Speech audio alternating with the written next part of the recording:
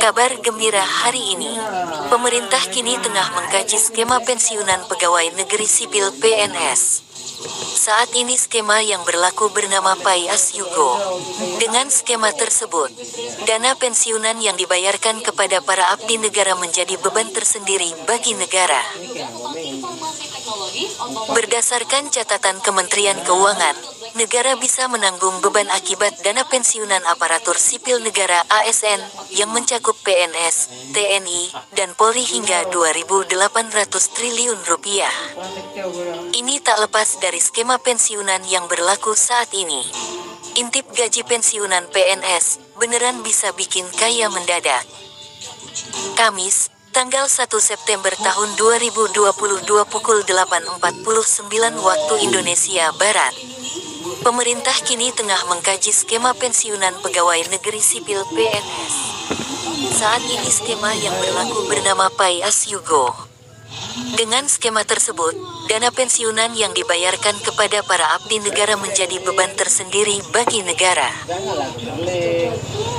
Berdasarkan catatan Kementerian Keuangan, negara bisa menanggung beban akibat dana pensiunan aparatur sipil negara ASN yang mencakup PNS, TNI, dan Polri hingga 2.800 triliun rupiah. Ini tak lepas dari skema pensiunan yang berlaku saat ini. Direktur Jenderal Anggaran Isa Rahmatawarta menjelaskan skema pensiunan Pai As Yugo yang berlaku saat ini, karena pembayaran gaji pensiun diambil dari pemberi kerja dengan menyisihkan uang saat jatuh tempo dan tidak pernah membuat akumulasi dana. Artinya, pemberi kerja dalam hal ini pemerintah menjanjikan manfaat pensiun dalam suatu formula sejak awal.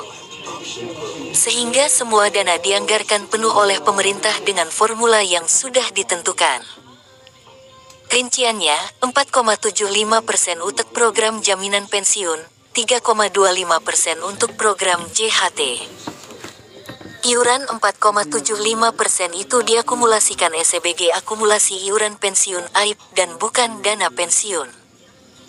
Iuran 3,25 persen dikelola PT Taspen dan diterimakan sekaligus saat PNS pensiun. Pemerintah akan mengubah skema tersebut menjadi iuran pasti alias fully funded.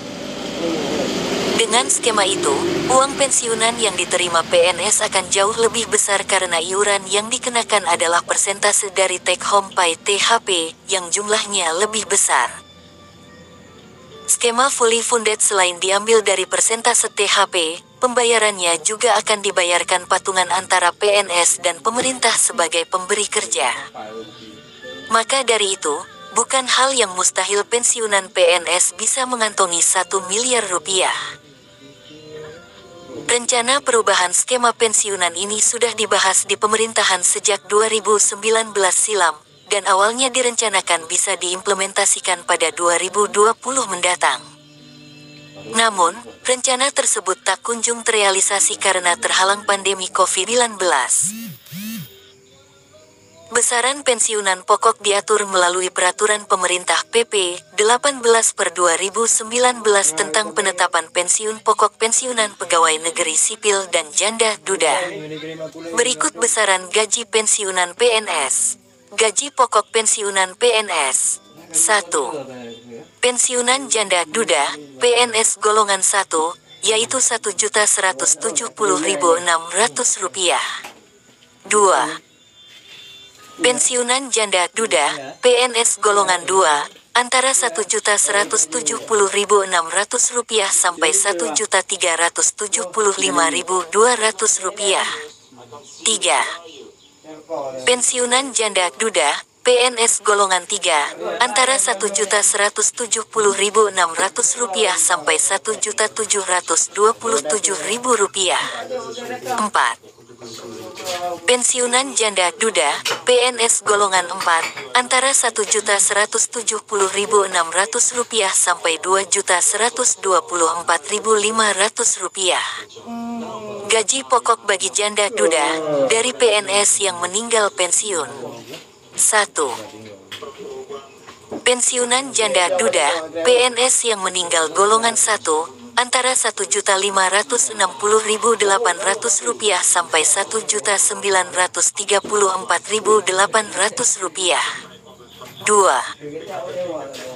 Pensiunan janda duda, PNS yang meninggal golongan 2, antara Rp1.560.800 sampai Rp2.746.500.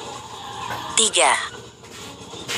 Pensiunan janda duda, PNS yang meninggal golongan 3, antara Rp1.786.100 sampai Rp3.453.300. 4. Pensiunan janda duda, PNS yang meninggal golongan 4, antara Rp2.111.400 sampai Rp4.243.600.